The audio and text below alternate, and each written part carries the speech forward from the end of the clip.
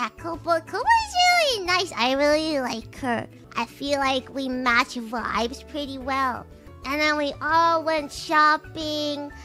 I got a I got a pair of shoes because uh, apparently Zeta and Kobo have uh, like a favorite shoe store. So I was like, oh, these shoes are cool. So I got a pair of shoes from their recommendation, and then um.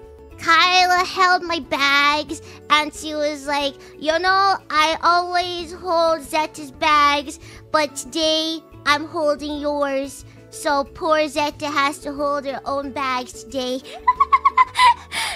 Thanks, Kaela. And she watched me trip twice, and then she gave me that disappointed look on her face again. Uh, that was a thing that happened. so yeah, that that was that was a thing.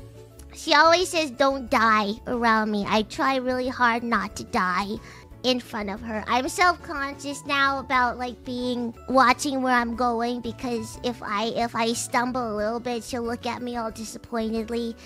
Yeah. I must not bleh in front of Kaela! I'm clumsy.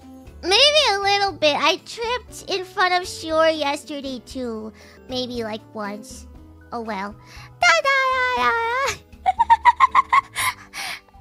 just just a little bit. Just just just a little bit.